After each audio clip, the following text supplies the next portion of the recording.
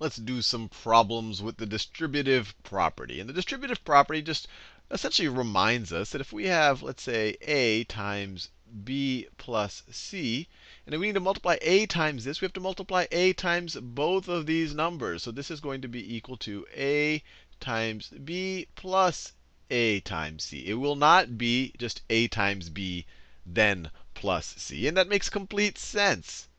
Let me give you an example. If I said 5 times 3 plus 7. Now, if you were to work this out using order of operations, you'd say this is 5 times 10. So you'd say this is 5 times 10, which is equal to 50. And we know that that's the right answer. Now, use the distributive property. That tells us that this is going to be equal to 5 times 3, which is 15, plus 5 times 7, which is 35. And 15 plus 35 is definitely 50. If you only multiplied the 5 times the 3, you'd have 15 and then plus a 7. You'd get the wrong answer. If you're multiplying 5 times these things, you have to multiply 5 times both of these things because you're multiplying the sum of these guys. Anyway, let's just apply that to a sampling of these problems. Let's do A. So we have 1 half times x minus y minus 4. Well, we multiply 1 half times both of these. So it's going to be 1 half x minus 1 half y minus 4. And we're done. Let's do C. We have 6 plus x minus 5 plus 7. Well, here there's actually no distributive property to even do. We can actually just remove the parentheses. 6 plus this thing, that's the same thing as 6 plus x plus negative 5 plus 7. Or you could view this as 6 plus, so this right here is 2, right? Negative 5 plus 7 is 2. 2 plus 6 is 8. So it becomes 8 plus x. All right, not too bad. All right, that was C. Let's do E. E, we have 4 times m plus 7 minus 6 times 4 minus m. 4, let's do the distributive property. 4 times m is 4m, plus 4 times 7 is 28.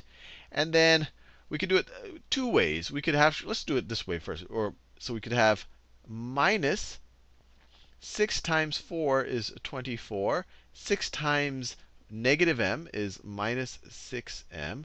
And notice, I could have just said times negative 6 and have a plus here, but I'm doing it in two steps. I'm doing the 6 first, and then I'll do the negative 1. And so this is going to be 4m plus 28. And then you distribute the negative sign. You could view this as a negative 1 times all of this. So negative 1 times 24 is minus 24. Negative 1 times minus 6m is plus 6m. Now you add the m terms.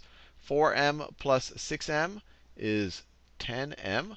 And then add the constant terms. 28 minus 24, that is equal to plus 4.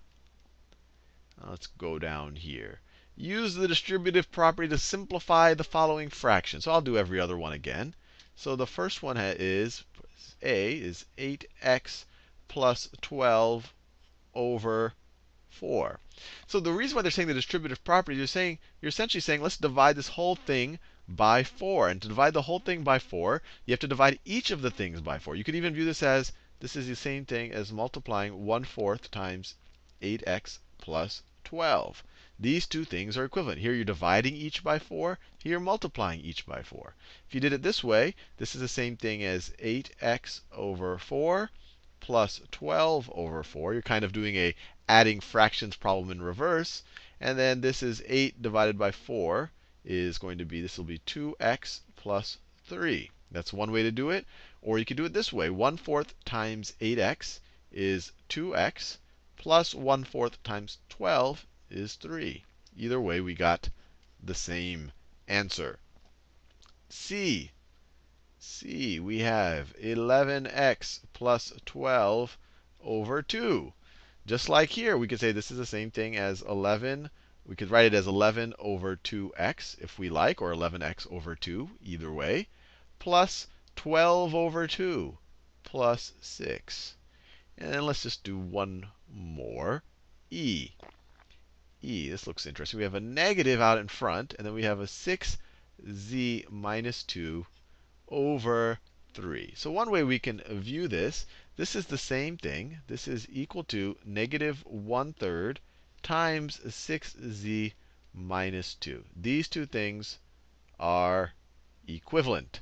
Right? This is just a negative 1 third. You can imagine a 1 right out here. Right? Negative 1 third times 6z minus 2. And then you just do the distributive property. Negative 1 third times 6z is going to be minus 2z.